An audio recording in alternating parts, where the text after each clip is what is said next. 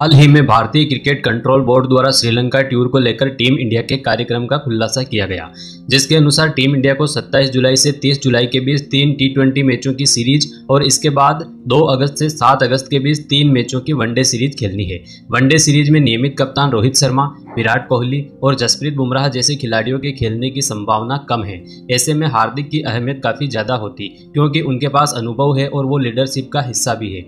इस वीडियो में हम आपको आगे बताएँगे कि हार्दिक ने वनडे खेलने से मना क्यों कर दिया। हालाँकि टीम इंडिया के नए हेड कोच गौतम गंभीर ने सीनियर खिलाड़ियों से श्रीलंका के खिलाफ वनडे सीरीज़ खेलने की बात कही, क्योंकि इसके बाद फिर एक लंबा ब्रेक होने वाला है। श्रीलंका दौरे के बाद टीम इंडिया को सीधे सितंबर में बांग्लादेश के खिलाफ घरेलू सीज़न की शुरुआत करते हुए दो टेस्ट मैचों की सीरीज़ और तीन मैचों की टी सीरीज़ खेलनी है।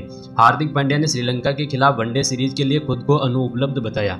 मीडिया रिपोर्ट्स में बताया जा रहा है कि हार्दिक ने बीसीसीआई को सूचित कर दिया है कि वह वनडे टीम का हिस्सा नहीं होंगे और इसके पीछे निजी कारणों का हवाला दिया है। अब देखना होगा कि कौन से सीनियर खिलाड़ी श्रीलंका के खिलाफ वनडे सीरीज़ का हिस्सा होंगे। दोस्तों, वीडियो को लाइक और कमेंट करते हुए बताएँ कि क्या हार्दिक को श्रीलंका के खिलाफ खेलना चाहिए। धन्यवाद।